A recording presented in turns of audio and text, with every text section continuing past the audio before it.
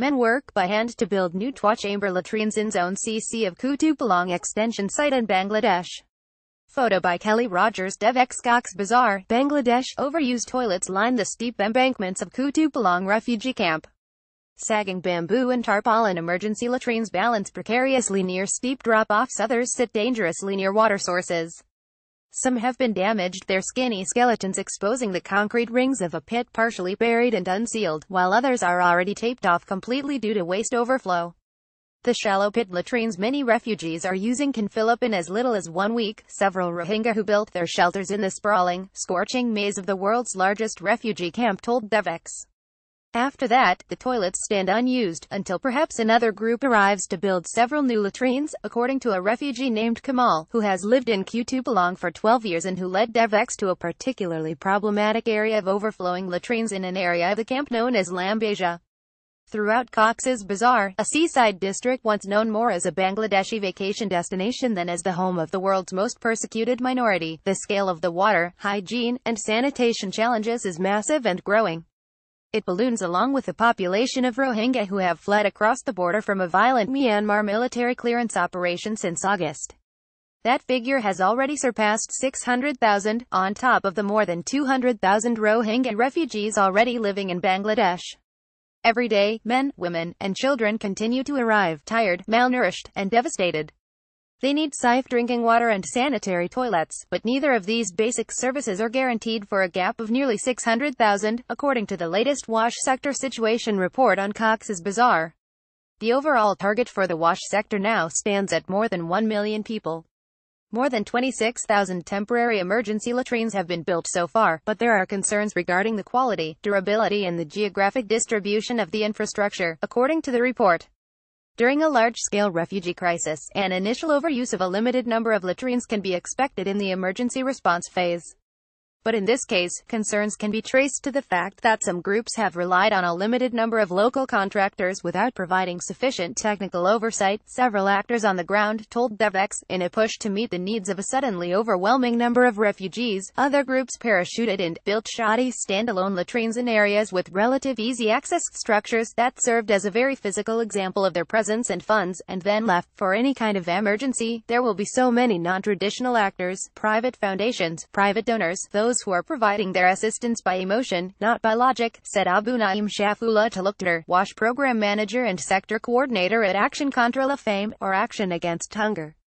For example, if there is a private bank coming here to install 100 tube wells, they will build and they will leave. That's a common phenomenon. In our scenario, this is happening. Prior to the influx of refugees that began in late August, there were five organizations working on WASH in the camps. Previously in Kutupalong Makeshift Camp and Balukhali Makeshift Camp, which have now merged to become one mega camp, Action Contre la Faim and International Organization for Migration split the WASH services in order to ensure the maintenance of all the points, according to Hildegard Thybergian, Deputy Country Director for SCF, which leads WASH Cluster Coordination. Water and Sanitation. Groups are currently working to decommission or reassign for maintenance or overflowing toilets. Photo by Kelli Rogers DevEx Now, there are 44 WASH actors, a jump in numbers that makes coordination as big of a challenge as providing sustainable potable water and sanitation options for 1 million people. The intentions of non-traditional donors or groups that haven't exercised strong construction oversight may have been to help, but latrines uphill from water points in particular put the Rohingya population in danger of serious waterborne illness, particularly cholera. Contaminated water also causes many in the camps to suffer from chronic diarrhea and skin diseases, which was apparent to Devex when speaking with refugees in line at a clinic in Kutupalong. Many guardians pointed to the scabs and irritation on children's bodies and arms. Meanwhile, broken or overflowing latrines, as many as 36% of constructed latrines were about to get, according to a November 5 WASH sector report, take up valuable space that could potentially be used for other services. Many organizations have continued to dig shallow tube wells, which are cheaper and quicker to construct at less than 300 feet, but these will likely need to be converted into deep tube wells in order to provide safer drinking water. Very few groups have been chlorinating the wells after construction to protect against fecal contamination, a practice that should be standard, according to ACF's Thybergian. Among aid groups active on the ground now, BRAC's name has come up as one of the guilty parties of too quick construction, having already built more than 11,000 latrines. But BRAC, an international development organization based in Bangladesh, maintained the sphere standard guidelines strictly, according to Iffat Nawaz, the head of BRAC's communications team on the ground, referencing appropriate and adequate toilet facility guidelines. A number of latrines that were installed by actors who may have left the ground after the early onset have become unusable, and have been misaccounted to BRAC, Nawaz said. Nawaz credits the high volume of humanitarian actors on the ground as well as poor coordination in the early stages of the onset for the fact that many latrines and wells were installed between BRAC's established tube well points, leading to eventual contamination problems in BRAC's own water points.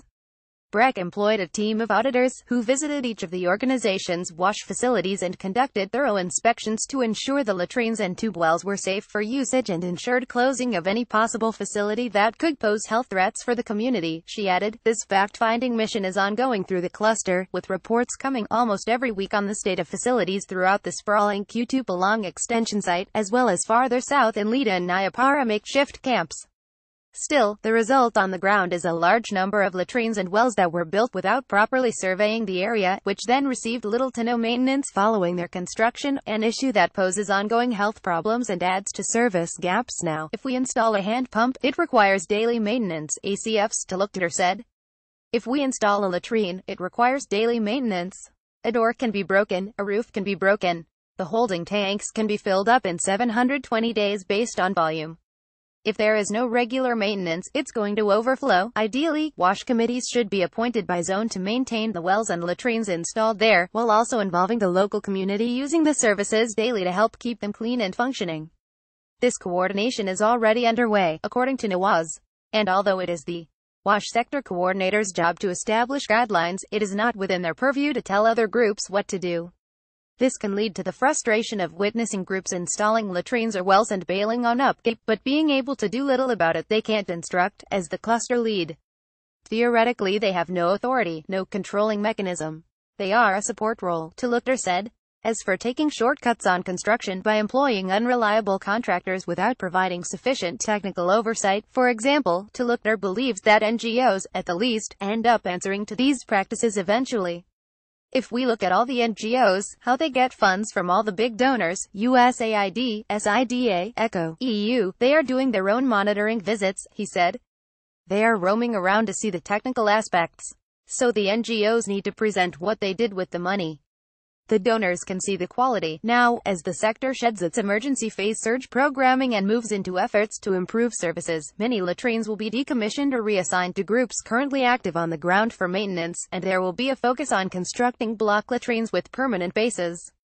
Already, BRAC has broken ground on new, double-chamber latrines that allow one chamber to fill and be desludged or cleaned, while waste is directed to the other. Several Rohingya refugees in the surrounding area will be tasked with keeping the latrines clean on a daily basis, and a BRAC team will circle back to remove waste from chambers when it's time. BRAC teams are already desludging 50 to 60 latrines a day, Nawaz said.